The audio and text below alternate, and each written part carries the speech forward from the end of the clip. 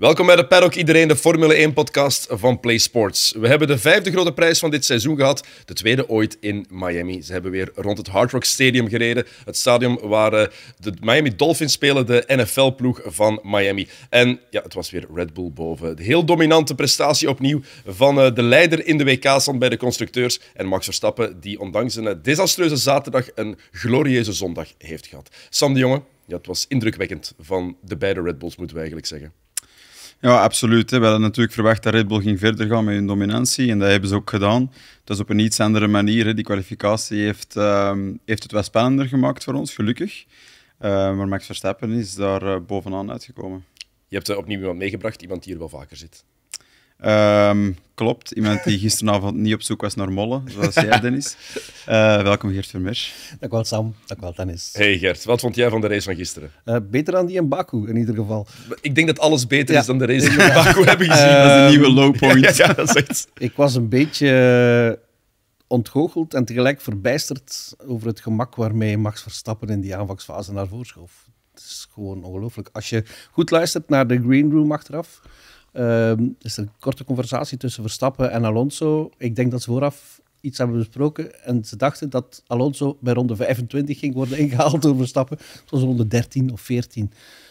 Als je met die harde band zo makkelijk naar voren kan schuiven, dan, dan ben je één, een heel goede rijder en twee, is een heel goede machine toch ook. Hè. Ja, maar waar ligt het nu aan? Want inderdaad, uh, Verstappen is op die harde band gesta gestart. Ja. Heel veel andere uh, rijders op de, op de mediumband. Ook Perez op de mediumband gestart. Ja. En dan zie je Verstappen gewoon heel dat pak met bijna de vingers in de neus inhalen. Zo, zo kwam dat toch over ja. als je aan het kijken was, met sprekend gemak. Ja, ik denk dat het een combinatie was van factoren. Hè. Die, die band, absoluut. Ik denk dat die harde band beter bleek dan op voorhand uh, misschien ingecalculeerd was.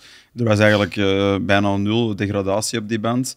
Um, plus je rijdt dan met, met een volle tank, een zware auto. En als we naar die medium gaan kijken, daar was meer slijtage op dan verwacht. Ja, en zeker, slechter dan verwacht eigenlijk. Slechter dan verwacht. En, en zeker met een volle tank. Waarom is het trouwens zo moeilijk om dat juist in te schatten? Die, die prestaties, die performantie van, die, van die banden? Je rijdt in die, in die vrije training nooit zo lang voilà. op die band. Zo simpel is het. En, en die band, oké, okay, je kent die band wel, want je gebruikt die soms ook in andere grote prijzen, maar nooit in die omstandigheden. Niet bij die warmte, bij die vochtigheid, mm. bij dat asfalt. Dus het is een beetje inschatten. En dan zeker een circuit als Miami waarschijnlijk, dat voilà. nog redelijk onbekend is. Ja, inderdaad. Bovendien ja. ook met die, met die regenbui van zaterdagavond was het ook nog eens extra green, maar niet zo groen als we hadden verwacht eigenlijk. Nee, we hadden verwacht dat, alle rubber dan uh, weggespoeld was. Dat, dat is wat er gebeurt als het regent. Hè. Um, maar die inschatting was ook niet helemaal juist. Dus het was nieuw asfalt. Ze hebben het uh, herasfalteerd uh, na vorig jaar. Waarom? Dat is niet heel duidelijk, maar dat maakte het ja, extra moeilijk voor de teams om, om een juiste inschatting te maken. En dat hebben we ja, dus ook bij Red Bull gezien. Uh, wat zeggen jullie dan van de, de kritieken die misschien zeggen Max Verstappen heeft gewoon alleen gewonnen omdat hij de juiste bandenkeuze heeft gemaakt? Alleen zou ik niet zeggen, maar toch wel grotendeels. Nee, niet grotendeels, maar mm. mede dankzij. Dus als, ja. het andersom, als het andersom zou zijn geweest, moest Perez met de tactiek van Verstappen zijn gestart. Zien jullie dan het omgekeerde? Dat is het probleem. Wie van op pol gaat vertrekken met de harde band? Want dan loop je een groot risico dat je plaatsen gaat verliezen in de start. Klopt. Maar zij Verstappen hebben gewonnen met de positie van Perez en de strategie van Perez. Dat denk ik wel. En op Perez, de medium. Van, en Perez van op 9 met de Nee, eigenlijk ah. los van waar Perez had gestart, denk ik, had Verstappen die strategie kunnen doen werken. Of niet? Ik denk eerlijk gezegd van wel, omdat uiteindelijk was die op een hele oude, uh, een heel oud setje harde banden, mm -hmm. was die nog sneller uiteindelijk dan ja. Perez op een verse set harde banden. Dus ik denk sowieso dat Verstappen een 2, 3 tiende minimum in zijn zak had zitten ten opzichte van Perez doorheen heel het weekend. Oké, okay, tijdens die kwalificatie komt het er niet uit omdat Verstappen daar van de baan gaat en zijn ronde moet opgeven. En dan hebben we die rode vlag na die crash van Leclerc. Dus we zien niet echt wat het verschil had geweest. Maar het circuit was toen wel aan het verbeteren. En dat rondje van Perez in quali was heel goed, maar ik denk dat Verstappen daar wel echt uit onder gezeten. Ja, die, die dominantie inderdaad, zoals je zei, het hele weekend lang. En Perez heeft het ook toegegeven na de kwalificatie, ja. dat hij er niet toe kwam om die laatste paar tienden te vinden. Mm -hmm. En ik denk ook niet dat hij die in de race gewonnen heeft. Dat is gewoon, eh, allee, daar, daar kon hij profiteren ook van de, de superioriteit van, van de Red Bull om, om voor Alonso te blijven in de aanvangsfase. Maar hij reed er niet echt van weg. Hè? Ik dacht eerst van hij gaat proberen zijn banden te sparen om die, die stint wat te rekken. Dat heeft hij misschien ook deels gedaan. Maar, maar het was niet uh, Sergio Perez van Baku in ieder geval. Nee, en op het einde zie je dan dat Verstappen op die mediumband eigenlijk niet echt snel uitloopt. Nee. Dat is dan ook weer opvallend. Hij gaat dan met een lichtere wagen naar de zogezegd snellere band. En dan wordt dat verschil stelselmatig maar kleiner. Terwijl hij daarvoor op die harde band echt toptijden neerzet en iedereen eh, zo snel naderde op Perez. Ja, en dan, en dan ook Perez die, die, die eventjes eh, de, de gap controleert, de bijna naar 15 seconden brengt, en dan in een paar ronden tijd vanaf Verstappen de boodschap krijgt, ja, je mag een beetje op de panden leunen, hè, zoals het gezegd werd. Boom, weer drie seconden erbij. Ja, ja, ik denk dat het ook een stuk is van, van als rijder kan je ook in echt in een goede groove geraken met een band. Ja. Eh, dat je je fijn voelt en dan ga je iets anders rijden. Je gaat die band gebruiken waar die sterk is en je gaat ook die band saven waar die minder sterk is. En eh, als je dan zo'n lange stint doet, zoals Verstappen heeft gedaan op die hards, dan raak je daar heel goed in. Ehm, dus dat is ook logisch dat als je dan naar een medium band gaat, heb je eigenlijk opnieuw nieuwe informatie. En voor hem was die, die stint maar heel kort. Ehm, maar ik denk sowieso dat het was een masterclass van Verstappen. Het was, het, was, het was niet de grootste race of de meest spectaculaire race voor hem misschien, maar hij heeft gewoon met heel veel daadkracht in het begin ingehaald, Ja. zonder dat die banden daar echt onder geleden hebben. En dat heeft hem heel hard geholpen, denk ik, in het tweede stuk. Het is een beetje een aspectje van Verstappen wat we weinig te zien krijgen, denk ik. Dat is zijn, zijn tire management. Hè. Ja. Hij, hij hoeft dat eigenlijk niet meer te doen, maar, maar als hij zo'n race kan opbouwen, die, vooral die eerste tien ronden, Ja. die, die, tegelijk die beheerstheid om die banden niet op de proef te stellen, maar toch plaatsen winnen, Ja. dat is eh, ja, het mooiste stuk van de race. eigenlijk. Terwijl we al redelijk vroeg een beeld kregen van die linkervoorband van Verstappen, waar het rubber van af aan het, aan het vliegen was, Ja. dat hier toch wel wat slijtage op zat. En ik was aan het kijken en ik dacht van, ja, het gaat niet zo lang meer duren voor hij gaat pitten. Maar die, Dan is die, hij nog, die, die is hij hard- nog even lang doorgegaan. ja, maar die harde band die zakt even af en blijft dan gewoon, denk ik. Nee?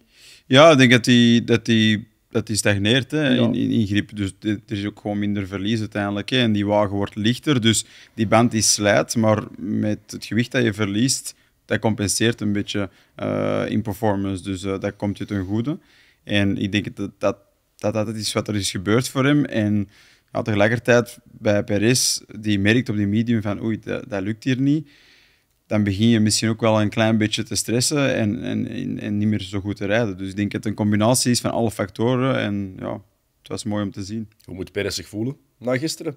Want die gaat ongetwijfeld ook gedacht hebben, als ik de tactiek van Verstappen had gehad, dan lijkt me logisch dat hij zo denkt. Had jij maar moeten kiezen. Hè? Moet hij zo denken, hè? Ja, inderdaad. Maar, maar ook, alleen, ik bedoel, we hebben het gisteren in, in- tijdens de race ook een paar keer gezegd. Oké, uitstekende strategie voor Verstappen, uitstekende keuze van het eh, strategieteam van, eh, van Red Bull. Ja. Maar bij, bij Perez zaten ze ernaast. Hè? Ik bedoel, want je- je mocht dus eigenlijk niet op die medium vertrekken. Dat zagen we ook bij de andere rijders, want we zijn nu enkel maar over Perez en Verstappen bezig. Maar er reden er nog ach- 18 anderen mee ook. Hè? En die komen zo meteen nog aan Ja. bod. Die, komen, die komen nog aan bod. Maar, maar dus daar hebben ze dan de, de bal misgeslagen. Maar sowieso, het is een beetje de, de gouden regel. hè. Je vertrekt niet van op de hart, met de harde wand kan van je niet doen, hè? Dat, dat is onmogelijk. Ja. Dus ja, dat, eigenlijk een gelukje bij een ongeluk voor Verstappen dat hij die optie had hè, van op plaats 9. Ja, absoluut. En ook ergens een geluk voor de race en voor ons dat we Verstappen van op de negende plaats Ja, hebben zien, zien vertrekken. Absoluut. Stel je voor dat hij de polepositie had gehad, dan hadden we misschien een, opnieuw een, gewoon een, een, saaiere race Dat gehad. was iets minder geweest. Dan hadden we hem niet zoveel in beeld gezien, denk ik. En dan hadden Ja. we ons vooral op de strijd voor de derde plaats moeten toeleggen, denk ik. Nee? Ja, tenzij dat vanaf, ze, tenzij Perez een betere start neemt. Hè. ja, en Kan, tenzij hè. dat ze dezelfde strategie hadden gehad. Hè. Dezelfde compound hadden gehad bij de start. En 1 en 2 starten. Dan had Perez denk ik wel voor een langere periode druk Ja. kunnen uitoefenen. Maar ik denk sowieso gewoon de, de, de, het voordeel van het tempo dat Verstappen had dit weekend. Ja, daar had, daar had Perez niet echt iets tegen kunnen doen, denk ik. En, en Red Bull had op voorhand berekend dat de strategie van Perez, starten op de medium en dan naar de hard gaan, ehm, ging drie seconden sneller zijn over de hele race Ja. distance. Dus dat is ook gewoon... Allee, het, is, het is niet enkel eh, er- gelinkt aan de rijders. Het is ook echt de berekening en een, een beetje een tekort aan informatie op dat circuit, in die situatie, die temperaturen. Er zijn ook- heel veel parameters die meespelen. Hè. En ook die berekening, die houdt altijd, of die gaat ervan uit van een ideale race zonder incidenten. Die hebben ze gisteren een keer gehad. Hè. Nul gele vlaggen. Ik kan Ja. me niet herinneren. Hoe, Vooral daar. hoe, ja, vooral daar. Maar geen gele vlaggen, geen Courgelle, geen safety car, niks. Nul. Alle 20 rijders aan de finish. Ik, ik- ik werd daar steeds meer van verbaasd eigenlijk. Hoe meer die race vorderde, van, gaat er nu echt niks gebeuren? Gaat, er Ja. echt, gaat het incident vrij blijven? En blijkbaar kan dat. ja, wat zegt dat? Ja. Zeg, zeggen jullie het? Wat zegt dat? Eh, ik vind dat geen goed nieuws eigenlijk. Nee, ik vind dat ook niet. En, en het gaat niet om, om crashes te willen zien. Ehm, ik denk in dat Amerika dat ze dat wel doen. Ja, willen, ja maar, dat wel. maar het is meer zo van... En ik, ik heb er de laatste tijd al veel over gedacht, van het is, het is te gecontroleerd allemaal. Het is, het is natuurlijk niet gemakkelijk. Het zijn, het zijn waanzinnig goede rijders die op de limiet rijden van dat ding, met, met die machine. Maar zijn die auto's nu niet te, te gecontroleerd geworden, te easy? Te, moet dat niet moeilijker zijn? Eh, je spreekt over de beste piloot ter wereld. Je zou op tv moeten kunnen zien dat die aan het vechten zijn Ja. met een auto. De enige, de enige die blijk gaf van, van enig initiatief, vind ik, om iets te proberen met die auto, was Magnussen. Ja, Die, die heeft verdedigd, in al manoeuvres uitgevoerd, die, Klopt. En, en zonder fouten. Ja, want wat jij zegt is natuurlijk iets anders dan wat, wat Sam zegt. Voor jou is het te ja, ja. gemakkelijk in de wagen. Hoe, is daar, is dit daar Maar- een link, zit, zit- het- zit daar ook een link tussen? Als het Tussen- te gemakkelijk is in de wagen, waarom probeer je dan niet zo, probeer je niet meer zo'n dingen dan, dan Magnussen? Volgens mij kan het. omdat het niet moet. Nee, omdat het niet moet, inderdaad. En ook, en daar heb ik me gisteren een beetje aan geërgerd, als Verstappen, het- oké, het is Verstappen en je gaat aan het eind wel aan het kortste eind trekken, maar verdedig toch eens een beetje, alsjeblieft, als je wordt ingehaald. Iedereen behalve Perez, ga maar Max. Zo, Ja. zo, zo, zo wordt Ja. het ook niet moeilijker natuurlijk. Hè? Dat, dat, is, dat is ook een, een stuk van wat, ik- van, van wat ik wil zeggen. Van, het, is, het is te berekend, het is te afgelikt Ja. geworden, soms de Formule 1. Er zouden meer onzekerheden moeten zijn, meer onzekere factors, meer, meer verantwoordelijkheid in de handen van de Formule 1-piloot. Ik bedoel, de vorige weekends eh, wordt er over de radio geklaagd van... eh, ja, ik, ik wist niet dat er daar een auto achter bocht 3 ging zitten tijdens de vrije trainingen. Ik bedoel, tijdens de vrije trainingen moeten ze al allemaal een perfect rondje hebben. In Ja. welke andere raceklasse maak je dan mee dat je constant een perfect circuit voor je hebt, helemaal vrij, Ja. waar je de perfecte snelle ronde... Dan moet je afdwingen in andere series. In de Formule 1, alles is, moet perfectie zijn, moet het beste van het beste zijn, maar dat maakt het niet aantrekkelijk om naar te kijken. Ja, want het, het, het argument, this is not your race, hè, wordt dan vaak gezegd. Ja. Hè, als je tegen Verstappen bijvoorbeeld rijdt en je bent, eh, je bent een George Russell, je moet daar niet... Betek, dat moet, betekent niet dat je niet je positie mag proberen verdedigen. Het toch? geval van Alonso bijvoorbeeld, dat was wel zijn race. Oké, hij finisht op 20 seconden, maar dat is wel zijn race. Dat is de positie die hij moet verdedigen. Maar er wordt gekozen voor, voor track position. Ey, er wordt gekozen voor, hoe moet ik het zeggen? Eh, ze willen gewoon zien dat ze niet te veel tijd verliezen. In, Voilà, in- we gaan, in we de- gaan verdedigen tegen de rijders die op ons Die- niveau zitten. voilà, Niet exact. op rijders die, waarvan we weten, eigenlijk weten dat ze op dit ogenblik beter presteren Ja. dan ons. Daar gaan we ons niet meer tegen verdedigen. Ik vind, ik vind dat heel contradictorisch als je denkt aan de topsportkarakters dat al die, die rijders hebben, Ja. aan de winnaarsmentaliteit die die hebben. Je gaat mij niet wij- wijsmaken dat een, een Alonso of, of een Russell zich zomaar willen laten passeren door, door Max Verstappen. Nee, en dat is juist, denk ik, wat ook Sam wil zeggen. Het is te gecontroleerd. Ze hebben op voorhand die briefing gedaan met de ingenieurs. En de ingenieurs hebben gezegd, Dat kan er. dat kan er en dit niet. Ja, het is bijna een theoretische sport geworden, Ja. waarbij je perfect zou moeten kunnen uitrekenen van kijk, vandaag is er, is, is, ligt het circuit er zo bij, onze auto die gaat zo reageren, eh, we starten op die banden, dus dat plus dat plus dat. Oké, dat is de uitkomst, je wordt vierde. Wat zeggen jullie dan tegen de mensen die ik- zeggen van dit is al jaren zo? Of het is altijd zo geweest? Ik denk dat altijd de moeilijkheid is geweest van die sport, om dat juist te krijgen en om dat interessant genoeg te houden. Ik denk dat dat absoluut wel klopt. Ik denk dat er wel periodes zijn geweest waarin dat er waarin dat het toch wel soms moeilijker was. Ja, Eh, inderdaad. Het, het wordt, allee, ik kan niet zeggen dat het makkelijk is, hè, want anders zou iedereen het kunnen Nee, doen. nee, nee. Maar het, de inbreng van de ingenieurs wordt ieder data. jaar beetje bij beetje groter. Het is een, een data-driven sport en daar heb ik het niet zo van. Data is goed, maar te veel data is Nee, nee, nee. nefast. Voilà, voilà. Eh, die kwalificaties, we hebben daar een interessante Q3 gekregen, die daar Ja. ineens wordt, wordt stopgezet door, eh, door, door die crash. En, Charles. eh, ja, inderdaad. Eh, Max Charles. Verstappen, die Max Verstappen zijn race leek te verpesten, maar hem eigenlijk net mooi heeft gemaakt. Mhm. Eh, maar Sta- Verstappen gaat daar ook in de fout. Dat is iets wat we niet vaak zien eigenlijk. Nee, en ik denk dat dat het soort momenten is waar Sergio Perez zich aan optrekt. Dat hij niet tegenover een, een perfect presterende robot eh, eh, aan het vechten is. Die kleine momenten, die, die gaat Perez nu proberen onthouden, denk ik, van, eh, van dit weekend. En, en zeg, ja, volgende keer ga ik daar wel helemaal gebruik van maken. Ja, zo moet hij ook denken, hè, denk ik. Hoe komt het dat Verstappen daar in de fout gaat? Ehm, ik denk dat, omdat hij uitgedaagd wordt. Hè. Eh, hij hij laat zich niet echt zot maken, toch niet zo zot als de media misschien wil laten uitschijnen, denk ik. Maar hij voelt wel ergens dat hij nog niet echt een perfect parcours heeft kunnen afleggen dit seizoen. Dit te doen niet, nee. Ehm, en eh, de realiteit is dat Perez in punten dichtbij zat. En ik denk dat Verstappen iemand is die daar op reageert. Heel hard, heel snel. Ehm, en dan pusht in zichzelf om, om nog verder te gaan. Hè. Uh, ondanks dat hij eigenlijk heel het weekend voorlag op Perez, snapte. Dus dat was niet eens echt per se nodig. Maar hij probeert dat wel. Dat vind ik ook wel het leuke bij hem. Hè. Hij, hij, hij, is super competitief. Hè. In die race ook, na die race, zie je hoe blij dat hij is. Dus bij hem was het toch een stuk een oplichting van... Oké, kijk, ik heb, ben gaan graven naar meer en ik heb het gevonden ook. Nou, of gaan graven naar meer, weet ik niet. Ik denk, gaan graven naar de Verstappen die al geweest is wel paar keer tegenover De gepassioneerde Verstappen ja, ja, die wil winnen. Tegenover Hamilton was hij altijd zo. Ja. Nu moet hij die motivatie misschien weer ergens gaan zoeken om, om zo weer te worden. En nu heeft hij die, als Perez wint, dan vindt hij die blijkbaar de koers daarna. Ja. Uh, is natuurlijk niet de enige die in de fout is gegaan. Nee. En vooral op dezelfde plaats dat we wat foutjes hebben gezien. Ja, ja het, is, het, is, het is natuurlijk een moeilijke bochtencombinatie. Het is heel snel. Um, het nodigt uit hè, om over de curbs te gaan, om daar uh, op de limiet van de track limits te zitten. En die rechter uh, voor die linker waar het gebeurd is, uh, daar kan je ook over de curbs. Dus dat is gewoon de, de natuur van dat circuit. Um, de snelheid die je dan hebt en die curb komt daar, denk ik, we zijn natuurlijk niet op het circuit zelf geweest, maar ligt daar iets minder hoog. maar die linker curb, daar die wel, kan, die wel. En die raakt de onderkant van de wagen als je daar helemaal over gaat. Um, en dan breek je eigenlijk de downforce en dan ja, jumpt die wagen omhoog. Dat gaat allemaal zo snel dat je dat niet ziet, maar dan verlies je gewoon de, het contact met de baan en dan spin je eraf. Verstappen, zijn geval in quali was iets minder extreem als bij Charles Leclerc. En die controleerde de auto. Bij Charles Leclerc was er nog meer commitment. Um, en dat is ook denk ik de reden waarom dat gebeurd is. Ja, groot verschil. Charles Leclerc had dat al eens voor gehad in de vrije trein. Ja, klopt.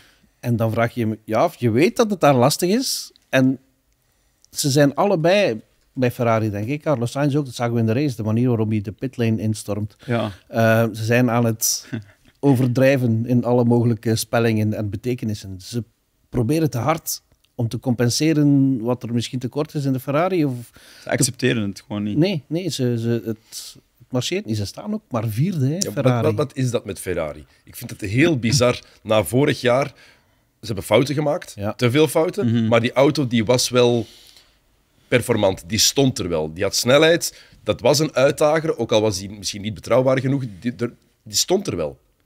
En we zijn, we zijn een seizoen verder en het is dag en nacht verschil. Ja, ja het kan ook in de andere richting. Hè. Kijk naar Aston Martin. Maar het verschil met Ferrari tegenover... Maar je verwacht, je verwacht toch net een stap verder, zeker met nieuwe wagens? Ja, maar het gaat... Oké, okay, maar Red Bull is heel hard uitgelopen.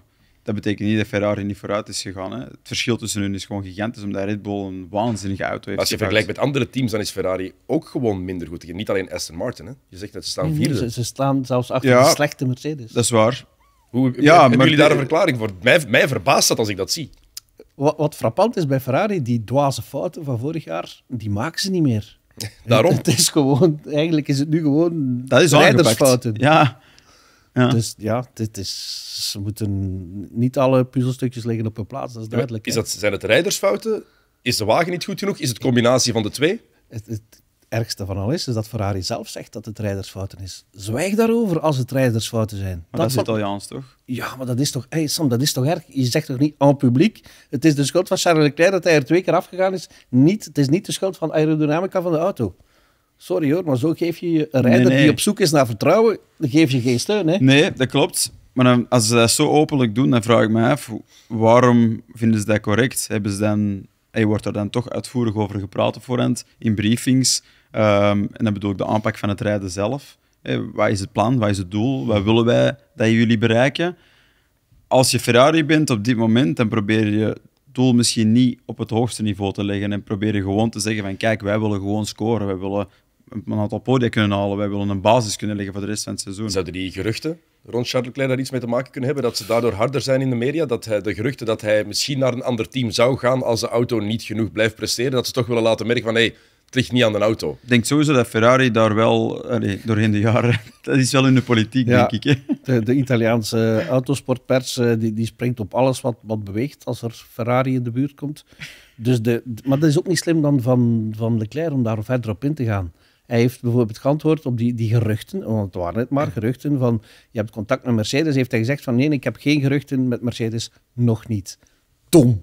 Zo dom die nog niet daarachter te zeggen.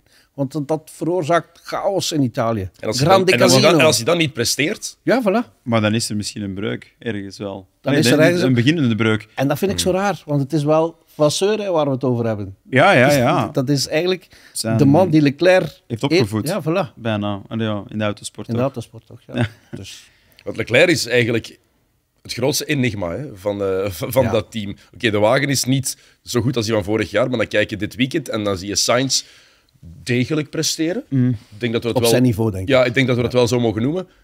Maar Leclerc is gewoon beneden zijn niveau. Hij is toch te goed voor wat hij heeft laten zien in Miami. Ik denk, denk dat de groei van Leclerc binnen de Formule 1 en de, de zeer snelle groei, en misschien te snelle groei, er ook wel mee te maken heeft. Hè. Uiteindelijk is die na één jaar bij Sauber Ja. naar een topteam gegaan in een topwagen met de verantwoordelijkheid van daar te presteren. En ik denk dat je sommige kneepjes wel beter leert in, eh, in het midden van het veld of achteraan. Hè. Dat, dat zeggen we vaak van mensen die bij Williams kunnen starten. Dat lijkt lastig, maar dat is soms een voordeel. Je leert met moeilijke, moeilijkere situaties omgaan, met een auto die niet altijd marcheert. En bij Leclerc, na één jaar pats in een Ferrari, dat ging dan eigenlijk ook goed in het begin. Ja, met, omdat hij naast Sebastian Vettel zat. En Sebastian Vettel was daar de kopman hè, Ja. in het begin. Dat heeft niet lang geduurd dat hij nog Nee. kopman was. En dat, maar dat zat hij ook in een conflict situatie waar hij eigenlijk goed uitkwam, hè, Leclerc. Maar nu met Sainz naast hem, moet hij zich toch, gaat iedereen vanuit, superieur tonen. Eh, boven Sainz dan bedoel ik. En dat lukt niet altijd. En dat, ik denk dat dat ook wel in zijn hoofd begint te spelen natuurlijk. Ja, ik denk, dat klopt. En, en, en gewoon zijn mindset over Ja. hoe hij, hij omgaat met risk en rewards. Ik denk dat, dat daar iets fout zit. Hij vindt nog altijd dat zijn aanpak de juiste is. En dat als je de, de afweging maakt van de pro's en de contra's, dat de pro's winnen. Dat hij nog altijd mag risico pakken, want er komt meer goed uit dan slecht. Maar stiltjes aan beginnen die cijfers een beetje tegen Ja, hem te kantelen, vind Ik ik. bedoel, de, vorig jaar al die, de schuiver in, in Paul Vorig Ricard. jaar. Eh, van het jaar ook de, wat hij doet in Australië, eh, wat hij doet in de qualifying hier. Ja, Er heeft niemand van het hele startveld zo weinig raceronden gereden als Charles Leclerc dit jaar. Hè. Dat wil wel iets zeggen, denk ik. Waar moet Ferrari nu naartoe dit jaar? Want er zijn nog maar vijf grote prijzen verder. Er zijn er nog 18 te rijden. stabiliseren, denk ik. Ja. Ik denk dat ze eens moeten proberen om een clean weekend te hebben met hun beide piloten. En gewoon solide, pff, gewoon wat punten pakken. En, en kilometers kunnen maken en kunnen leren uit wat... Want wat er nu allemaal aan het gebeuren is, is een heel harde afleiding van wat die auto eigenlijk kan. Ja, Ik bedoel, er wordt nu gekeken naar de foutjes die worden gemaakt, maar wat is het potentieel van die auto? Daar zijn andere teams wel mee bezig. Hè, er is minder, minder, ja, gewoon minder heisa rond en die kunnen zich kunnen concentreren aan het begin van het seizoen, aan hun nieuwe auto. En dat vind ik bij Ferrari, dat er is weer te veel afleiding naar de foute dingen. ja ze zijn... het kan ook... Dat is dan weer het voordeel dat het heel snel kan omslaan bij Ferrari. Als ze de volgende grote prijs in Imola, thuisrace dus, als ze daar goed presteren, dan is iedereen het weer vergeten. hè. Dat is nergens Voor even. die eerste- Ja, voor even, hè, natuurlijk. Ja. Tot Monza. Tot, of, nee, tot Monaco, denk ik. Dat, dat, is, maar dat is het mooie aan deze sport. Hè. ja. Dat is het mooie dat het zo snel kan keren. Voor, voor hetzelfde geld zitten we hier over twee weken en praten we inderdaad helemaal anders over, over Ferrari. Ja. Eh, tweede grote prijs ooit nu in Miami. Wat vonden jullie? Wat vinden jullie van dit circuit? Want na de eerste keer is het altijd dat moeilijker om het echt in te schatten. Nu hebben we twee dingen waar we op terug kunnen vallen. Wat vinden jullie van, eh, van het circuit? Van het tracé of van... Het tracé. Eerst het tracé Ah, gewoon om op te racen. Behalve die, die, die chicane daar, eh, bocht 14, Die wel? 15. Ik heb niet goed verstaan. Ja, die dus. Eh, die, eh, nee. Maar voor de rest vind ik dat wel best een uitdagend circuit lijkt me. Er zitten wel wat mogelijkheden in om in te halen. Er zitten wat mogelijkheden in om in de fout te gaan. Wat dat ook belangrijk is, vind ik. Die lastig zijn dus. En voor de rest, ja, vind ik eh, het nieuwe asfalt lijkt me ook wel mee te vallen. Vorig jaar ging dat stuk, hè, eigenlijk het asfalt. Het eerste asfalt dat ze hebben gegoten. Want ze hebben dan nog tussen de vrije trainingen Ja. moeten, moeten bijgieten. Nu lijkt, mij, eh, lijkt het goed. Het tracé is goed. Sam? Ik ben het ermee eens. Ik vind, ik vind het circuit zelf, de layout ziet er goed uit. Ziet er ook goed genoeg uit om, om kansen te bieden om, om, om in te halen. Eh, er zijn heel technische stukken bij, wat echt lijkt op een krap straatcircuit. Ik denk dat dat je dat moet creëren als je een straatcircuit wilt. Maar er zijn ook snel, snelle bochten bij, waar er ook ruimte is en waar een Formule 1-auto tot leven kan komen. Dat zien we ook niet overal. In Monaco is dat absoluut niet meer echt het geval, buiten in de tunnel. Maar dat is eigenlijk rechtdoor. Ehm, dus ik vind het circuit ook goed. Ik vond ook de Grand Prix qua het, is, het was iets minder extreem eh, in vergelijking met vorig jaar, denk ik. Het was er toen wat over. Eh, maar ik vond het nu eigenlijk wel aangenaam. Ehm, maar ja, ik heb ook gelezen dat, dat ze aan het kijken zijn om er misschien een nachtrace van te maken. Dat de Dat is niet organisator Echt? Dus de organisatoren hebben nu een gesprek. eh, ja. Dus ja, dat, dat Voor, wordt voor mensen die luisteren, dat was een roll eyes. Ja. Ja. Wa- wa- waarom, waarom, Gert? Waarom zou je zo tegen een nachtrace zijn? Waarom een nachtrace? Ik bedoel, dat alweer een met de- nachtrace. met de Dat is, dat is niet nieuw meer, toch? Hij is toch gewoon voor de schoonheid? Maar alleen, Dan kunnen dat water waar die boten in liggen zo zien glinsteren. Kunnen ze daar blauwe lichtjes van maken? dat zou misschien nog mooi zijn eigenlijk. Nee, maar waarom een nachtrace? Ik, ik, Vol lichtjes. het is echt Let op. al anders doen om anders te doen, hè, zonder echt goede reden. Ik bedoel, dat je in Las Vegas straks reist of s'avonds Ja. reist, goed, helemaal akkoord. Want de strip bij daglicht is lelijk. Dat is, dat is effectief, dat is niet lelijk, dat is waar. Dus dat, dat is een goede reden. Maar, maar, maar Miami, het is niet eens Miami, het zijn de Miami Gardens, rond het stadion op parking. Goed aangelegde parking wel, maar goed. En dan nog eens s'nachts ook. Nee, allee, Het ging die kabelbaan eigenlijk nog. Ik heb er niet op gelet. Want er is daar een stukje dat je eigenlijk met de kabelbaan boven het circuit kan meegaan. Maar ik heb ze geen enkele keer zien bewegen dit jaar. nee, Dus dat is al kapot. eigenlijk. Dat is al ook niet kapot, gezien. dus. Ik denk dat buiten, buiten het tracé, het asfalt en, en wat daarmee is gebeurd door in het weekend, dat was meer een probleem. Hè. Ik bedoel, met dat nieuwe asfalt komt er olie naar boven enzovoorts. Dat is op zich geen probleem, want de rijders die rijden dat eraf, die toplaag, maar enkel op de racelijn. Want rijders rijden niet op de foute lijn, of toch niet expres. Dus dat zorgde ervoor dat tegen dat de race was, dat de ideale lijn proper was, dat daar best wel wat grip op kwam. Maar vanaf dat je daar een centimeter naast zat, was er 0,0 grip. En natuurlijk, dat creëert niet de beste Grand Prix. Nee. Want buiten de DRS-zones hebben rijders absoluut geen vertrouwen om daar te zeggen: Oké, ik kan eens even met een neus ertussen steken, of ik ga proberen iets te doen, of ik ga eens offline accelereren op een exit. Want er ligt niks. En die weten dat heel goed. Dus dat vond ik wel echt nadelig voor deze, Zou het voor helpen deze mochten race. ze meer nevenwedstrijden hebben dan? Absoluut, zeker, zeker van de opstapklasses waar veel meer wordt ingehaald en op, van alle plekken. Want hier hadden ze enkel maar een paar races van de Porsche Cup, hè, denk ik. Dat was Ja. alles, hè. Dus geen Formule 2 of Formule 3 of iets anders. Ik vind toch wel... En, en in Vegas hebben ze al helemaal niks hè, qua, qua support races. Dat is ook, maar dat is ook wel het bewijs. Ze, in, in de States willen ze meer en meer op Formule 1 inzetten door Drive to Survive, maar het Ja. is ook wel enkel Formule 1. Maar zelfs, Waar de zelfs focus de dan vrije op is. trainingen. Als je kijkt naar de tribunes, de vrije trainingen, die waren driekwart leeg. Ja, en dat is nu de vraag: hè, is die hype nog sterk genoeg om. Amerika te overtuigen? Want we hebben er even in gezeten en hoe, hè, die, die driver introductions enzovoort, hoe dat ze dat aanpakken, dat is eigenlijk allemaal gebaseerd daarop. Van, dat zijn gladiatoren en de mensen die Netflix hebben gekeken.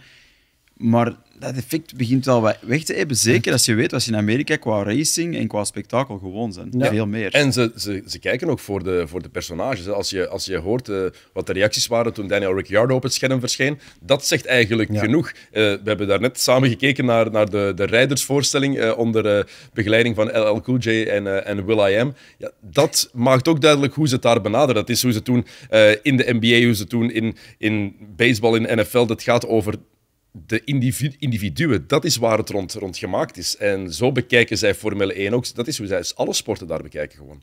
Ja, maar, maar aan de andere kant, mocht er in de NBA publiek toegelaten zijn voor oefenwedstrijden, ik veronderstel niet dat dat het geval is als zij trainingen doen. Of toch Train- trainingen niet, nee, voor Nee. de opwarming. Voilà, de opwarming wel, hè, maar- voor, voor Stephen Curry destijds, die Ja. had een bepaald, bepaald ritueel. Daar hebben ze effectief de zalen vroeger voor moeten open doen, omdat mensen wilden kijken hoe hij zijn opwarming deed. Voilà. Dus Maar alleen bij hem natuurlijk. Ja, maar, maar, maar trainingen Ja. komt er dan ook geen, geen kat kijken. En en eigenlijk, de organisatoren van Miami, ze beseffen het gelukkig al, want ze beseffen ook dat het nieuwe in Miami er vanaf is, een beetje. Dat ze zich nu meer gaan moeten toeleggen op, op de, de fans van de sport. Mensen die echt geïnteresseerd zijn in de autosport en niet in de plasma TV, hè, zoals het eh, de paddock af en toe wel is daar. En, en dat is goed dat ze dat beseffen, maar dat zal ook nodig zijn, want anders heb je geen lange, basis, ter- geen ja. lange termijnvisie ook. Hè, Ja. want Ja, het was inderdaad wel plasma TV, want er de celebrities er waren. hè, ja. Vooral Roger Federer, Federer hè, langs Ja, de kant. dat is, ik, weet, ik weet de naam van die acteur niet wie dat eigenlijk Nee, is. Ik herken hem. hij is ik- bekend, hè? Ja, hij is echt Dat bekend. is zeker niet Roger. Dat is zeker niet Roger Federer. Nee. Dat volgens mij- Roger van Damme mij- misschien, maar ook niet. Ook niet, Volgens mij stond hij er misschien naast. En, en zag je die camera, maar die cameraman ging swingen en dan stoppen op Roger Federer. En Ik misschien is hij gewoon weggesprongen toen hij zag wat er ging gebeuren. Die kinderen geen bal van. Nee, voilà. Maar hij, hij lijkt er een beetje op. Ik, kan, ik weet ook... ik Man, kan, nee, hij lijkt er Hij totaal lijkt wij- wij- ik niet snap- ik Hij snap- lijkt meer op een Giancarlo een Fisichella dan... in, een bepaalde, in een bepaalde hoek lijkt hij erop. oké? Ja. Bij de nachtrace ligt die erop. Ja, inderdaad. Daarom willen ze naar een nachtrace gaan. Dat ze zich fouten kunnen veroorloven. Kijk, maar het is, het, is allemaal niet zo erg als... ehm, wie was dat eh, vorig jaar? Ehm, Martin Brundle. ja, die, denkt dat, eh, dat eh, Paulo Banchero dat Patrick Mahomes was. Dat was. Dat was ook een, een, een, heel, een heel top. Een heel interview doen en van, ah ja, you're not Patrick. Ja, maar pas op. De nummer 1 draft pick in de NBA. Dat gebeurt ook eh, tijdens de Gouden Schoenenvoorstelling. hè, Van die dingen. Ja, dat is wel goud. Oh, prachtig. Schoen. Ja, oh, heel mooi. Ehm, ik had wel medelijden met ene Logan Sargent. Want Ja. dan rij je een race op een half uurtje van je huis, Mhm. een half uurtje van de plek waar je opgegroeid bent, is je hele familie daar, al je vrienden zijn daar, en dan rij je de meest anonieme race die er maar kan Maar hij heeft hem uitgereden. Dat is dat. Ja, voilà. Dat is maar, al maar positief. iedereen, iedereen. Maar ik, ik had er wel echt medelijden Ja. mee. Echt. Ja. Niet doen, dat is niet nodig. Ik bedoel, hij zal, Nee. hij zal dat ook niet zo Het is wel in de uitgevonden Formule 1, Ja, voilà. Dat is waar. Ja, tuurlijk, ja. Maar ligt, het- ligt het aan hem? Ligt het aan de wagen? Dat het eh, voor hem geen goed weekend was?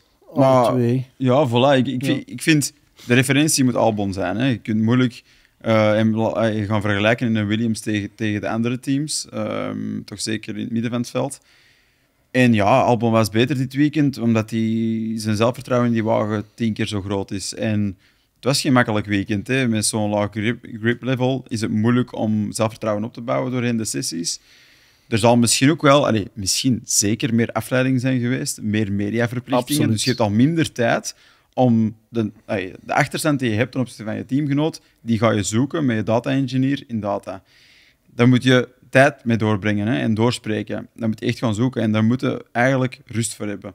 Eh, en ik denk dat die dit weekend niet echt gerust gelaten is. Dus. Nee, dat eh, zit er dik in.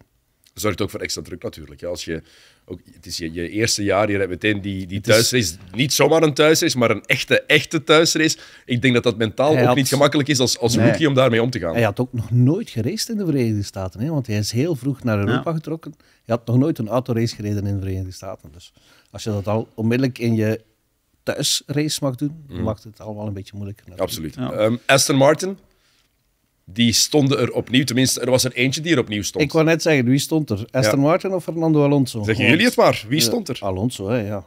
Het was duidelijk, denk ik. Ik weet niet wat Stroll weer, weer... Is het omdat het zo dicht bij de zee is? Of... Ik vind dat hij het echt te gemakkelijk neemt. Ook gewoon. Ik bedoel, Zijn tenen zal u toch al, al genezen zijn, veronderstel. Hij, hij, reed beter, hij, hem reed, hij reed beter met je pijnlijke teen. ja, Misschien moet hij hem opnieuw... Dat was het een en het ander toen.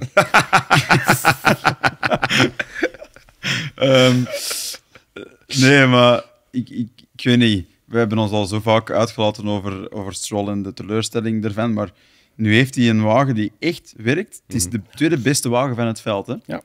Ehm, en Alonso maakt het waar op een bijna gemakkelijke manier. En Stroll die doet zo dat het te moeilijk is. Ja, ik begrijp dat niet. Voor mij blijft dat een tekort aan focus, een tekort- tekort aan ambitie, aan goesting eh, om het te doen werken. En het is bijna nu zo van, ik rijd bij papa en hij heeft iemand aangenomen die, die de punten wel haalt. Dan moet Maar ik ik- gewoon meerijden. Maar ik geloof nooit dat iemand als Lawrence Stroll, een miljardair, een eh, man die hard werkt, die Mhm. alleen maar die perfectie nastreeft, dat zie je in hoe hij het team probeert te leiden, wat hij daarin investeert. Ik geloof nooit dat hij, zelfs van zijn eigen zoon, dit gaat blijven aanvaarden. Nee? Dat geloof ik, echt niet. Ik denk dat hij hem zelfs al, ik hoop, dat hij hem al een paar keer onder zijn voeten heeft gegeven ook. Ja, Hij zal ook wel merken aan zijn zoon. Ik denk, ik hoop dat hij hem genoeg kent om te weten of zijn zoon er alles voor doet of niet, of, en of hij geconcentreerd is. Zou hij hem daar even... Ja, dat kunnen wij niet over oordelen. Kunnen we dat is niet. nee, dat weten wij niet. Nee, kunnen wij niet over En oordelen. plus, ik denk, hij krijgt uiteindelijk momenteel wel echt de return van de prestaties. Hè. Ik bedoel, Aston Martin, waanzinnige winter gaat, gelinkt aan Alonso, een van de bekendste figuren uit de Formule 1. Iedereen is enthousiast. Alonso zelf is ook heel enthousiast, hij komt veel in beeld. Hij durft dingen zeggen. Er is een beetje een hele goede vibe rond. En in die zin, ja, ik denk dat hij niet echt mist dat zijn zoon niet presteert. Bovendien, Lance Stroll krijgt iedere koers complimenten van Alonso. Ja, Toch? Dat, Ja. dat, was, dat was een heel opvallend moment. goede Opnieuw- stabiele spiegels, denk ik, Alonso- Aston Martin. Is, is, je had het daar net over dat het te gemakkelijk is. Is het te gemakkelijk voor, eh, voor Fernando Alonso in die Aston gewoon naar Martin? tv te kijken. Ja, wat was hij aan het doen Ja, dan? maar, maar eh, advocaat van de duivel, is dat niet een beetje typerend voor het personage Fernando Alonso, die Absoluut. niet enkel briljant wilt zijn, maar het ook nog eens extra in de verf wilt Ja, zetten? ja, want het feit, het eigenlijk het meest tekenend aan die, dat commentaar dat hij gezien heeft dat uh, Lance Stroll een schitterend inhaalmanoeuvre heeft uitgevoerd. was het feit dat hij het gezien heeft. Dat is het ding. Dat is het Dat gaat niet over. Lance, Nee, dat nee, gaat over hem. Niet. Dat gaat over Alonso. Kijk, want- ik rijd derde en ik heb de ruimte om te zien. Voilà. Het is ook wel mooi, hoe meer je, meer je na begint te denken over de carrière van Fernando Alonso. Grijs kent die mens niet. Hè? Nee. Het is ofwel super slecht, ofwel is het fantastisch. Ja. het zijn Ja. alleen maar uitschieters als je hem hoort praten, tenminste, vind ik. En hoort Dat- reageren. En, en misschien is dat de manier waarop hij de meeste resultaten haalt ook. Hè? Hmm. Want al, behalve bij McLaren en Honda toen, daar waren de resultaten niet echt beter door de commentaren Nee. die hij toen gaf. Maar, Dat is ook ja. onmogelijk, denk ik. Ja, denk ik. ook. Maar ja, het, zijn- het, is goed dat, we, dat er nog altijd zo iemand is in de Formule 1 die, die zo van die extreme uitspraken doet. Ja, En niet eerst het publiek bedankt en dan... En echt waar, ik, ik ben niet altijd per se een mega Alonso-fan geweest. Maar als ik ouder aan het worden ben nu, Oei, dan oei, apprecieer oei, ik, ja, ik ben ouder aan het worden. Dan is dat eigenlijk voor ons heel goed. Want hij bewijst, 42 jaar, Ja. Ja, dat hij op zijn 42 de Formule 1 vooraan rijdt.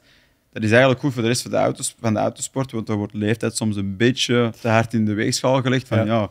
eh, als Ik je vond, 30 bent, dan, eh, dan kun je het niet meer, terwijl je eigenlijk altijd beter wordt, tot een bepaald punt. Maar Alonso doet het op het hoogste niveau, dus ik vind dat positief voor die sport. Ik vond de post-race interviews van Jensen Button ook leuk toen, ze, toen Fernando aankwam, een handje geven. Het was bijna zo van, ik ben maar een jaar jonger dan jij, maar ik ben er wel nog een man. En jij staat al ja, eigenlijk in prepensioen, hè, Jensen Button. Ja, en Ja, hij heeft vet. vooral nog altijd ambitie, Alonso. Als je dat interview ook hoorde achteraf, eh, nu is het tijd om te mikken naar nog een stapje hoger. We, zijn, we waren al blij Hij wil winnen in Monaco, hè. En we, waren al- we zijn al blij dat we, dit, dat we dit nu bereiken. Die derde plaats, die podia, hadden we niet verwacht eigenlijk voor het seizoen. Zei, als, we dat, als we daarvoor hadden kunnen Ja. tekenen, hadden we het gedaan.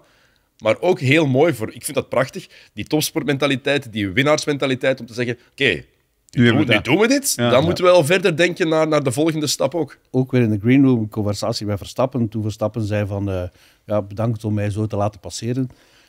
Reactie van Alonso, in Monaco zal dat niet gebeuren.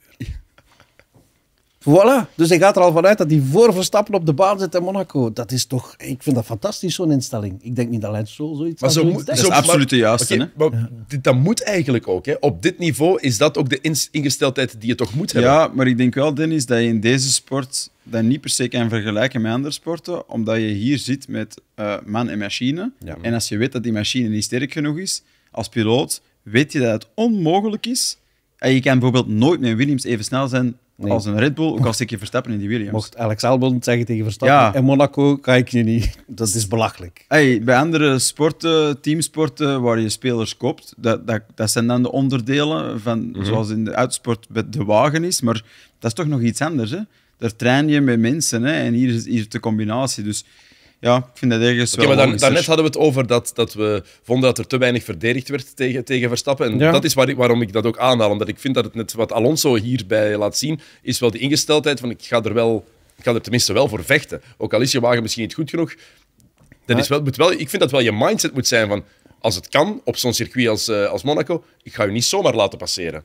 Ja, maar ik vind dat ook de verantwoordelijkheid van de teams om dat eigenlijk met de piloten, om die mee zo te vormen. Want ik denk dat het door de overdreven eh, hoeveelheid data, worden ze bijna gedwongen in een positie waarbij dat ze zo moeten rijden om dat resultaat te behalen. En de vrijheid wordt kleiner achter het stuur, eh, omdat er een bepaalde goal is. En die kan je maar enkel bereiken als je zoveel, zoveel ronden die banden goed houdt en zoveel ronden dat doet en zoveel fuel saved daar. En Ja, iemand, je iemand, instinct gaat een beetje, verwatert een beetje. En, en een hoopgevend voorvalletje in de, ik weet zelfs niet of het de eerste of de tweede vrije training was. George Russell moest een nieuw, nieuwe stuurinrichting uitproberen van, van eh, Mercedes.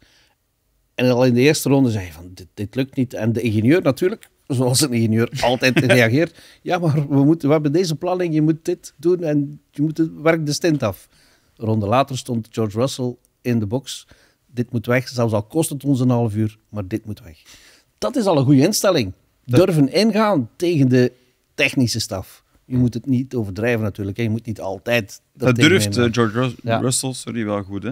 Die, die, is- die durft wel echt beslissingen nemen. Maar ook, altijd maar de ook beste, omdat hij drie of vier jaar Williams, of drie jaar Williams achter zich heeft en die bagage wel heeft. Ja, voilà. Ja, dat klopt. Wat vonden jullie van eh, Mercedes dit weekend? Verloren.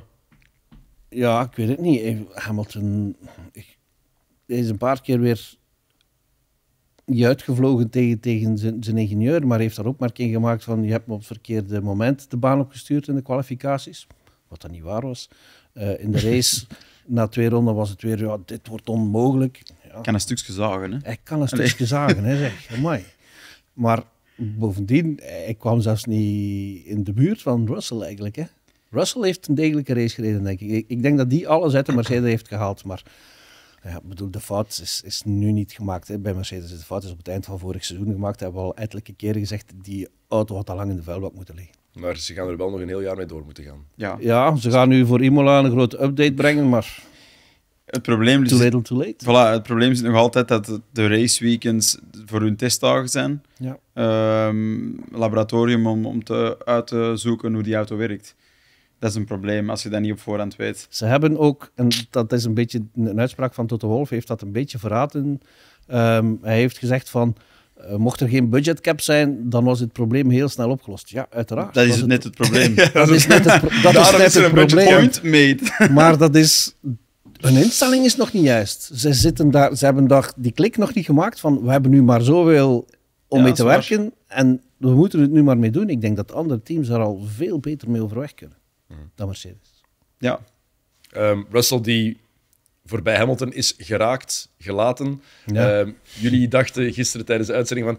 Nou, toch een, er moet misschien een radioboodschap eh, geweest zijn van Toto Wolff die wij Maar niet ja, gehoord hebben. Eerst was er een radioboodschap waarin hij zei van I won't back off. En dan zie je hem in de bocht gewoon. Hij ging bijna een hotdog halen. Hij, hij, gaat moet, hij gaat die plek moeten komen halen, zei, zei Ja, Hamilton en- eigenlijk. Hij gaat het zelf moeten verdienen. En een beetje later ging hij gewoon letterlijk aan de kant. Ik denk dat er... En ik heb nog niet geluisterd. Eigenlijk had ik al eens moeten kunnen luisteren. Maar, maar het, was, allee, het was contradictorisch met wat hij zei en Hmm. wat hij deed.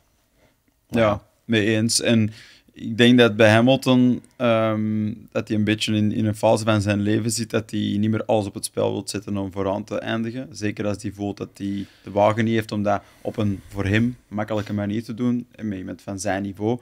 Als je Hamilton een goede auto geeft, dan zit hij vooraan, dat weet iedereen. Ehm, maar ja, denk, weet Hamilton kan zich wilde nog dat risico pakken. steeds moeilijker motiveren Ja. om te vechten voor plaats 6. Maar ik vind dat ook niet per se onlogisch. Nee? Ik vind alleen, dan moet er iets mee doen. Dan moet je stoppen. Of dan moet je iets anders gaan doen. Dan moet je toegeven aan jezelf dat te zeggen dat je in de beste auto zit. Maar daar komt natuurlijk ook bij dat hij weet wat Mercedes heeft gedaan al die jaren. Dus die verwachtingen zijn zo geschept, die zijn zo hoog bij Hamilton. Dat Ik denk ook. dat hij niet verwacht had dat die wagen dit jaar dit niveau maar zou halen. Ik denk dat hij zelf al had gedacht, oké, na vorig jaar gaan we wel een stap zetten, volgend jaar gaan we wel wat competitiever zijn. En natuurlijk, die heeft dat interview gegeven bij de BBC zeker, waarbij dat hij zei van ja, ik had nogthans gevraagd tijdens de winter om dat wel te doen en dat niet te doen. Ja, en ze hebben niet ze hebben geluisterd. niet geluisterd, Als dat echt waar is, en laten we ervan uitgaan dat dat klopt, dan snap ik dat ook wel ergens. Want dan kun je eigenlijk echt kwaad zijn. Hè? Omdat je zit terug in diezelfde auto die niet marcheert. En dan denk je in jezelf, ja, oké, als je niet wilt luisteren naar mij, zevenvoudig, oké, ja, dan, dan niet. Ja, dat is... Dan krijg je ook niet alles van mij terug. Hebben jullie het interview van Bottas gehoord, waarin hij het over Lewis Hamilton had? Ah, nee. Ik heb er iets over gelezen. Een podcast, in een podcast en heeft hij even de lofzang boven gehad over waarom eh, Lewis Hamilton zo'n geweldige, geweldige rijder is. Dus ik vond het heel mooi. Eh, was, was, er was het gemeend? Was het gemeend? Het was, het was, het was echt gemeend. want Hij, hij downplayde eigenlijk zijn eigen, zijn eigen prestaties. Of, of downplay is niet het juiste woord, maar hij plaatste dat in een heel groot perspectief. Van ik heb gewonnen, ja, maar als het er echt op aankwam, dan was Lewis eigenlijk altijd sneller en beter. Dat is, dat is fair, hè. En, en, en Bottas zit eigenlijk ook eh, in zo'n fase, in zo'n headspace, dat hij dat, dat hij precies wil eerlijk zijn met de wereld. En ik denk wel dat Hamilton naast de baan misschien een van de meer menselijke rijders is. eh, die ook wel eens contact opzoekt met de mensen waar hij contact mee wil hebben. Ik denk dat het imago dat Hamilton heeft voor veel buitenstaanders anders is dan wat het effectief inderdaad in de Ja, paddock is onder de, onder de Dat rijders. is niet de macho, Dat moet, typische toch macho. zijn. dat moet toch lastig zijn als je naar de buitenwereld een- zo'n heel ander imago...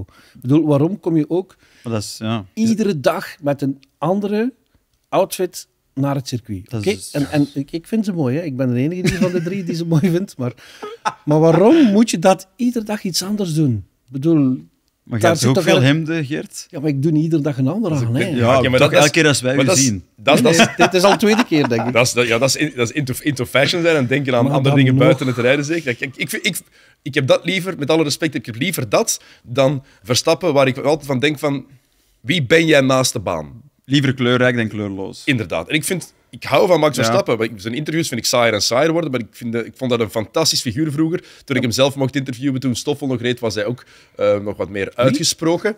Hè? Toen, toen, maar toen zei hij nog iets. Maar ik denk, zo, bij sommige rijders denk ik ook van, ja... Oké, het moet niet altijd zo extravagant als Hamilton zijn, maar een beetje kleur mag er wel in zitten. Ja, maar dat is subjectief, hè? Dat is ook, iedereen gaat er een andere mening over hebben. Dat Ja, is- en, en er, er zijn, ik bedoel, rijders evolueren. Hè. Ik bedoel, Jensen Button in het begin van zijn carrière Mij. zou hem ook een pak slaag gegeven hebben. en nu, achteraf kwamen daar wel interessante dingen uit, natuurlijk. Ehm, een paar teams die ik nog opgeschreven had. Haas, ook een thuisrace. sterke prestatie. Hè? Ehm, ook daar wel, denk ik, doorheen dit seizoen meer teleurstelling dan, dan, dan we gisteren gezien hebben. En, en ik weet niet per se of dat, dat iets is voor de long run dit seizoen. Is het een uitschieter of niet? Het is een heel specifieke Grand Prix geweest met de tarmac Hulkenberg, enzovoort. Hulkenberg haalt zijn eerste podium dit jaar. Schrijf het op. Ja? Ik hoop het. Maar Magnussen heeft wel gereageerd op Ja. de vorm van Hulkenberg. Voilà, voor de dat is- eerste keer. En dat is ook goed. En nu gaat dat blijven, blijven gaan. Haas gaan- over. Ja. Oh, mooi. dat is het mooiste van het seizoen al. Heel schone. Eh Hulkenberg nogthans, ja, hij was binnengehaald bij, Ja. bij Haas om Ja. niet voor brokken te zorgen. Ja. Want Dit weekend zijn vijf, vijf grote prijzen ver en, en het was wel zover. Het was een stevige. Het was een stevige, maar op, een, op de Mick Schumacher-schaal was het een drietje. Hè. Ik wou echt juist zeggen. Bij Haas zo, oh, het is maar dat. Dus maar dat. Dus ja, ik bedoel, de vier wielen dingen nog aan de auto. Dus ja, nee, maar hij is het slachtoffer, ja, het slachtoffer geworden van wat eh, Sam daar zei. Een hele dunne ideale lijn. Hij zat er 20 centimeter naast en was hem kwijt. Dus Ja. dat- Details. Eh ander team dat ik nog opgeschreven had, ehm, en ik heb er het woord falen voor geschreven. McLaren. McLaren. Ja. Geen Ik- idee. het is nog zo'n... Echt geen idee. Nee. Ik was nogthans tamelijk optimistisch voor McLaren na Baku, want Ja. daar waren ze niet slecht. Wel een goede stap gezet in die vier weken pauze. En nu ineens nergens, hè. Nergens. En, en ze hebben dat dan nog proberen forceren met, die, met de bandenstrategie door op een softband te vertrekken, wat al bijna onmogelijk is als je niet in de eerste drie ronden een, een safety car krijgt. Wat kan hè, in Miami altijd. Maar je misschien wel verwacht ook. Ja, en dan, ja, dan, dan zit je eigenlijk... Bovendien was de wagen ook niet perfect. Hè. Piastri had blijkbaar remproblemen. eh, Norris, die, Norris, die zijn motivatie... Die, die, Ik twijfel er... Ja, ik weet maar het die niet. jongen, die, maar, die- dat is ook begrijpbaar, hè, Sam. Ja. bedoel, die jongen Ja. die vecht al zo lang om zijn generatiegenoten... Hè, de Sainz en de Russells, die, die, die staan er allemaal, hè, Leclerc. Opvolger van Lewis. En vooral, Ja, er dat is, is hij niet geen, meer. Hè. Dat is George Russell hè, nu. en vooral er is geen Ah. teken Ja, van... maar stel dat Lewis stopt. Zou, zou Mercedes zo ver gaan van die weg te koop bij McLaren? Duur, hè? nu? Maar... Lando Norris, ja, ook dat, maar dat is het lang contract. Hè. Dat Dat, is- dat heb ik dat- dus dat is het helemaal niet probleem, gesnapt. Hè. Waarom hij vorig jaar of twee jaar geleden ondertussen al zo'n lang contract tekent bij McLaren. Ja. Waarom, waarom zou je dan niet bijvoorbeeld liever Piastri kopen? Dat gaat goedkoper zijn. Ja, ik denk. Potentieel ja, dat is in. ook een feit. Ja, en die doet het op zich eh, heel goed in vergelijking met Norris. hè. Ik snap de frustratie bij Norris ook wel ergens. Hè. Vooral, je hebt dan eh, even, even tekenen van beterschap. Je, McLaren lijkt in de stijgende lijn te zijn, dan gaat het weer naar beneden. En dan heb je dit jaar waarin het letterlijk op en af gaat. Eh, vooral af. Maar het vertrek, ik bedoel dat ze ook daar iemand als Andreas Seidel hebben laten vertrekken naar, naar Sauber, hè, dat Sauber Audi De wordt. Audi wordt. Dat was, Dat vond voor ik mij ook. was dat de baken bij Ja. McLaren. Hè. Ja. Dat was degene waar alles rond draaide, waarmee ze konden bouwen. En nu is die weg en blijven ze over met Zack Brown en Andreas Stella. Sorry hoor, maar nee. Ja. Dat is echt, ik, vind het, ik vind het ook jammer. McLaren is een team dat je Ja. bij de top 5 wil zien. Dus een, een klassiek team, dat hoort daarbij ergens. En het is, Ja, jaar na jaar is het opnieuw een teleurstelling. En even waren ze daar. Hè. Even deden ze mee om de best of the rest te zijn. Ja. En En kijk nu naar Alpine. Hè. Ik bedoel, dat, dat, dat was het territorium van McLaren de vorige jaren. En Ja. Pwah, daar zitten ze ver, ver vanaf. Hè. Ze zaten voor Aston Martin. Hè. Ja, ja, dus, ja. ja. dat gaat dit opgelost beschouwing. geraken daar? Want dit is niet enkel meer een verhaal van dit jaar. Nee. Dit is nu al een verhaal dat al van 2016 16, hè, ja. bezig is. Ja. Dus En- dat is al en- een hele periode. er zijn daar een paar eh machtswissels al geweest. Hè. Zack Brown die het dan en die heeft iets opgebouwd en dat lukte dan wel en dan vallen ze weer terug. Maar ze waren nooit zo hoog geraakt als ze eigenlijk wouden raken bij die, bij die hoogste. Net niet. En dan, En dan vallen ze toch terug en dan vraag ik me nu af of dat het dan wel de juiste mensen zijn op die posities. ja, Want de, de financiering van dat hele McLaren-team, uit Bahrein, die, gaan ook niet blijven denken van jongens, ehm, zijn er nog teams die we nu kunnen financieren? Of... ja, dat stopt ook op een bepaald ja, ik moment. hè. denk het wel. En die luxe hebben ze misschien te veel gehad. Ja, Dat ze de ruimte hadden om zogezegd jaren te hebben om te groeien. Ja, het McLaren Technology Center, het is nog altijd een van de mooiste Formule 1 ateliers ter wereld, maar die windtunnel die erin staat, die is dus hopeloos verouderd. Die kan zelfs niet meer gebruikt worden door de wielrenners van de Olympische Spelen. Wat vroeger wel Is dat het echt? geval was. Ja. Oké, dat is, dat is wel wel- een heel slecht voorteken. Eh, goed, waar we het vorige week nog niet over, over hebben kunnen hebben, Sam. We hebben dat gezegd, omdat Ja. eh, Frits te veel verhalen bij had. Ehm, en, Een mooie verhaal. ja, en we nog altijd niet genoeg hebben gehoord van die Nee, verhalen eigenlijk. absoluut. Dus dat moet nog eens terugkomen. Eh, maar het nieuwe sprint race format wilden we het nog even over hebben. Eh, gelukkig zit daar de ideale Is man daarom dat ik hier zit dan? Dennis, ik had gezegd de laatste seconde van de aflevering gingen we dat aanladen dat je niks door had. We hebben, we, hebben nog tien, minuten- we hebben nog tien minuten. Ik ga hem aan hem tien minuten geven om het even eh, aan Blijf te halen. alsjeblieft, Gert, blijf. voor, de mensen die nog, eh, voor de mensen die niet weten wat er veranderd is, Gert, leg het nog eens uit. Wat is er nu Het is aangepast? Heel simpel. En blijf is- rustig, alsjeblieft. Ja, ja, maar het is, het is heel simpel. Ik vind het, om nog eens dat te herhalen, een stap vooruit. Want ze hebben de zaterdag er volledig uitgelegd uit dat sprintweekend eigenlijk. Hè. Want de uitslag van de sprintrace heeft in C geen invloed meer op de startgrid van de race van zondag. Dus Ja. we hebben gewoon op zaterdagochtend qualifying voor die sprintrace van zaterdagnamiddag. En zaterdagnamiddag een kort koersje voor acht punten. Dat is het. Dat heeft als grote voordeel dat er maar één vrije training meer is op vrijdag. En als grote nadeel al de rest. Voilà, het gelegd. Toch? Nee, mij, wat mij het meest gestoord heeft in Baku was, was die, de, de dip in de spanningsboog. Ik bedoel, je had onderhouden de kwalificaties op vrijdag. Die maar door de helft gezien zijn van de mensen die ze anders op zaterdag hadden gezien. En dan heb je ertussen iets, dan, dan kijk je uit naar die wedstrijd, maar je moet eerst nog een dag wachten en kijken naar wat spielerij die er eigenlijk niet toe doet. Hè. Ja, dat is een beetje En, waai. en de hoop van, ze hebben dus die, die invloed van de sprintrace op de hoofdrace eh, eruit gehaald, omdat ze dan denken van, ja, dan gaan ze meer risico's nemen. Nee, nee, nee, nee, dat, dat gebeurt dus niet. De gevolgen kunnen nog altijd veel te groot zijn. Je kan één, je kan nog altijd bestraft worden als je daar iets fout doet in die sprintrace voor de, de Grand Prix. En ten tweede, je kan ook brokken rijden en dat kost centen. En die centen die zijn er niet in overvloed met deze budgetcap. Oké, er zijn een paar... Zeg maar, Sam. Ja, en eigenlijk, ik vind, ik vind- het probleem is inderdaad, met de, en zoals jij zei, die spanningsbogen. Eigenlijk moet de Formule 1 zijn, die opbouw richting de race moet, moet spannender en spannender worden. Ja. Totdat we daar op de grid staan en iedereen wil dat die race begint en de lichten gaan uit. En als je dan al een klein raceje ervoor hebt, en dat is al saai, dan is het gewoon nog meer saaie race daarna. Ja, absoluut. Dus dat verbetert niks. Het, de One Lap Quali, daar kun je volgens mij veel meer mee doen. Daar moeten ze echt... Ze moeten iets met die quali session doen dat dat graver maakt. Dat interessanter maakt voor mensen om te we- we- volgen. we hebben het nu gezien, ehm, hier in, in Miami ook, het ene rondje. En als je dat rondje mist, Zie, start je als negende. Dus oké, maar dan gaan ze wel met iets meer marge rijden, hè, toch in die ene poging? Of niet? ik weet het niet. Dat blijft toch een quali. Ik denk dat iedereen gaat proberen... In ieder geval, het gaat, het gaat de grid veel spannender maken op Maar wat je ook hebt, met, door het feit, en dat was vorig jaar ook al, en het jaar ervoor ook al, met die sprintrace, is dat je eigenlijk de, de, de tien eerste ronden van een grote prijs, zeker als je weinig vrije trainingen hebt, tien eerste ronden kan je nog merken het niveauverschil tussen de rijders en de auto's. Want ze moeten nog een beetje zoeken. Tegenover als je daar een sprintrace tussen doet, ja, dan, dan is die leerfase weg. Hè. Dan, dan begint iedereen al in betere omstandigheden aan de wedstrijd. Wat moeten ze dan wel doen als ze, als ze dit format willen behouden? Dus ze willen zo'n... Die, die zaterdag... Ja. Gewoon die dag willen ze behouden. Ik vind daar als gewoon sportliefhebber, een neutrale sportliefhebber, vind ik het heel vreemd dat dat er inderdaad tussen komt. Die timing is gewoon super bizar. Dat zit zo Voor in die, mogen ze die dat dag zit zo in die op zit zo- woensdag. Toch? Op woensdag. Dat lijkt me iets voor op woensdag te doen, zo'n dag. Nee, serieus. Eh, ze mogen die dag niet behouden. Maar, al- niet- oké, maar als ze het willen doen, het is, toch, is het dan niet logischer dat je dat op vrijdag doet in plaats van dat letterlijk in een grote prijs sandwich te steken? Ja, maar, maar dan, dan... Je moet altijd beginnen, ik veronderstel ik toch, je, je raceweekend beginnen met, met een vrije training. Je gaat niet eerst qualifying doen en dan vrije training. Dus dan zit het daar een beetje gevrongen. Ja. Maar, maar die- sowieso de- gevrongen. De, echte kwalificaties, die moeten gewoon op zaterdag komen, dat je dan kan toeleven naar die race. Maar- daar mag niks meer tussen zitten. Eigenlijk moet je gewoon één vrije training hebben, waarin dat je probeert de beste afstelling te zoeken Ja. en een snelle laptime. Geen long runs, dus dan weten ze Nee. niet hoe dat je strategie gaat uitdraaien. One lap quali op zaterdag, dus gebruikt wat je op vrijdag hebt gevonden in die enige, enige training, of op zaterdagochtend.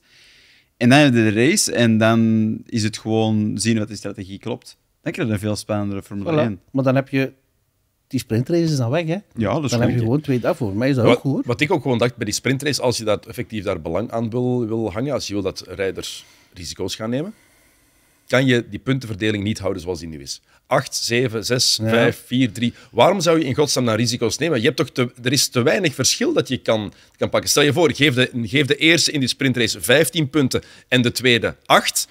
Dan, dan, ga, maar dan ga je misschien wel een andere ingesteldheid Ik zien, want dan begrijp zijn jouw er veel punten te redenering. verdienen. Ik begrijp jouw redenering, maar dan neem je nog meer glans weg van de Grand Prix. Oké, maar, dan, maar dan geef je tenminste wel Incentive. meer waarde aan die. Nu is die zaterdag, wat je net zegt. Ja, maar verdient Die spelerij. verdient die race meer waarde? Nee, toch? Nee, maar, ze, Je- maar je ze- moet- het is wel, Nee, maar we moeten wel enige waarde geven maar om het, is, motivatie het is wel duidelijk vormen, dat dat de richting is waar ze in willen gaan. Want er zijn er zes dit jaar. Dus het is teken duidelijk dat ze redeneren: oké, we, gaan, we gaan dit behouden, we gaan dit verder uitwerken. Als je dat wil doen, of je nu fan bent of niet, maar gewoon in het achterhoofd van: het gaat sowieso gebeuren.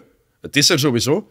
Moet je er dan niet meer waarde aan hechten? Ook al is dat nefast voor de grote prijs, maar als het er toch is en het gaat blijven, moet er dan niet meer te verdienen zijn voor de rijders, dat we spektakel zouden kunnen krijgen?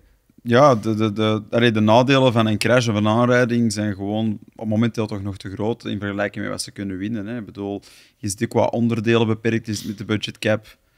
Ja, er is te veel, denk ik, ehm, dat riskant is om, om, om tijdens die sprint iets te gaan doen. En ik weet, niet- ik weet zelfs niet of dat punten er iets aan zou veranderen. Misschien iets meer, maar... Ja, zou, dat, zou dat ingesteld niet Ik veranderen? Stel je voor dat je enerzijds- 15, pu- dat je 15 Ja. punten kan verdienen en de tweede krijgt er maar 8 of 7. Dat het verschil dus echt wel navenant is. Zou dat geen Dat, dat kan je ook. wijziging maken?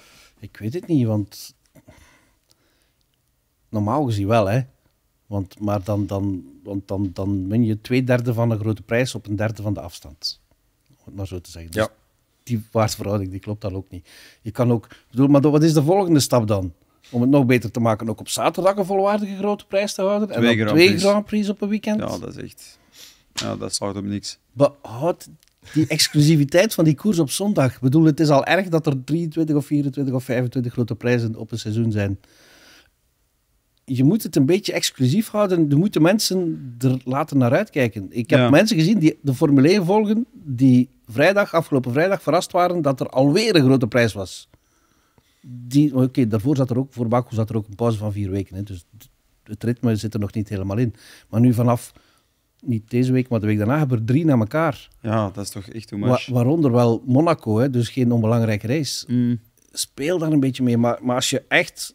Ze spelen te veel op kwantiteit nu Ja. bij de Amerikanen. Maar ze pakken gewoon omdat ze eh, het willen pakken, omdat het nu mega hype is. willen verdienen. Ja, Stefano Domenicali heeft ook al gezegd na Baku, we gaan niet bij iedere race een sprintrace organiseren. Dat is al positief. Het is, ja, het is, je gelooft er niet veel van, Sam? Ik weet niet, ik, ik vind... maar die ziet ook het zijn wat er gebeurt politiekers MotoGP, altijd. Ik geloof niet veel hebben- wat die mannen zeggen nee, nee. eigenlijk. Nee, ook niet. Nee, maar ja. Maar Ja. in MotoGP hebben ze nu dit jaar Ja. iedere, iedere weekend een sprint. Dus de eerste twee waren spectaculair en gevaarlijk. En er zijn nogal wat blessures opgelopen. Dus het gebeurt iets sneller op twee wielen dan op vier. Klopt. Maar vanaf de derde race hebben ze beginnen beseffen, hola, we zijn hier eigenlijk ons grote prijzen in gevaar aan het brengen. En dan is het ja, de, de processie van Echternach. Hè. Ja. En het strafste van het allemaal vond ik van dit nieuwe format. Hè, want eh, normaal ging de sprintrace vast aan Ja. de kwalificatie voor de race van zondag. is dan veranderd. Hoe kunnen ze dat twee dagen voor de grote prijs officieel communiceren? Nou, twee dagen. echt- Voor de rijders zelf ook. Die zullen dat misschien iets langer al geweten hebben. Maar los daarvan, Het idee, voor de liefhebbers van de sport ook. Jean, heb jij die mail gestuurd? Hoor, vorige maand? Zoiets, Maar als, je, als, je, als je nu zo'n, als je een, nieuwe, een nieuwe Formule 1 van bent, en er zijn er meer en meer aan bijkomen, en je, je- twee dagen op voorhand, hoezo, dat is anders. Dat is toch, Ja, dat is nee. toch heel Ik amateuristisch. vind dat onrespectvol ook ten opzichte van Absoluut. Van iedereen de, die in de die Formule 1 er werkt. voor de rechten betaalt van Ja. die sport en die ervoor zorgt dat die sport op tv komt. Ik vind dat echt schandalig. Ja. Ja. Ze zijn, maar ze zijn Niet verbaasd. Ook, ook een beetje aan het pushen met, met iedereen die. die als- Oké, door de grotere belangstelling in de Formule 1 komen er ook steeds meer aasgieren op de Formule 1 Tuurlijk. af. Hè. En die, die willen ze misschien wel afhouden op die manier, maar dan op dezelfde manier houden ze ook wel mensen af die al jaren Formule 1 steunen, is misschien iets te sterk uitgedrukt, maar een warm hart toedragen. Kijk, er waren gisteren heel veel mensen die een, nieuw, een team zouden kunnen kopen daar, Ja, ik denk het ook, ja. bijvoorbeeld. er Michael Jordan zeker- liep er rond, hij gaat Ik heb er waarschijnlijk zelfs twee zijn gezien die het hele dus- startveld konden kopen. Eh, Oké, ehm, de volgende grote prijs is er over twee weken. De grote prijs van Emilia Romagna heet die officieel. Made in Italy. Moet er nog bij. Is dat, is Ja, ja. dat echt? Nee, serieus. Ja, echt? Wauw. Eh, wel leuk, een traditioneler circuit. Absoluut. Na, na, Eh, na vijf werd het dus tijd Het is dat de er eerste keer dat we een normale, volgens Europese tijd dan, timing gaan krijgen ook. Hè? In de zesde grote ja. prijs van het seizoen, wat laat is eigenlijk. Ja, mooi circuit, hè? Ja. Allee, mooi circuit. eh, Historisch circuit. Historisch circuit, Formule 1-auto's komen daar tot hun recht, of toch best goed. Niet per se een circuit om makkelijk in te halen. Dus Nee. dat is niet zo gemakkelijk. Enkel hebben we daar spannende dingen in de eerste bocht gezien, denk ik, afgelopen jaren. En wie weet regent het, dat kan natuurlijk wel iets brengen. Ja. En welke wagen? Ja, te- met Red Bull, Red Bull, ik weet het, maar buiten, Red, buiten, buiten Red Bull. Ik weet dat Buiten je onder de grond hebt gezeten, Dennis, maar op zoek naar de mol. Maar Buiten Red Bull, voor welke wagen, welke wagen gaat daar het best tot zijn recht komen? Wie gaat Red Bull... Wie gaat denken dat die Red Bull kan uitdagen? Ferrari, hè. De Ferrari is verplicht om te denken dat zijn Imola ja, op zijn minst voor een podium die gaan er op de limiet van hun turbo zitten Ja, om toch mee vooraan te zitten, denk zo- ik. maar zoals ze nu rijden, komen daar brokken van. Ja, absoluut. Oké, het gaat interessant worden. Eh, Sam, Gert, dank jullie wel om Yes. hier te zijn. Eh, ik bedank u voor het kijken en luisteren. Wij zijn terug over twee weken met eh, de grote prijs van Emilia Romagna, made in Italy. Eh, die ga je dus live kunnen volgen op Play Sports. En maandag is er dan ook een nieuwe aflevering van de Paddock. Dus heel graag tot dan. Salut.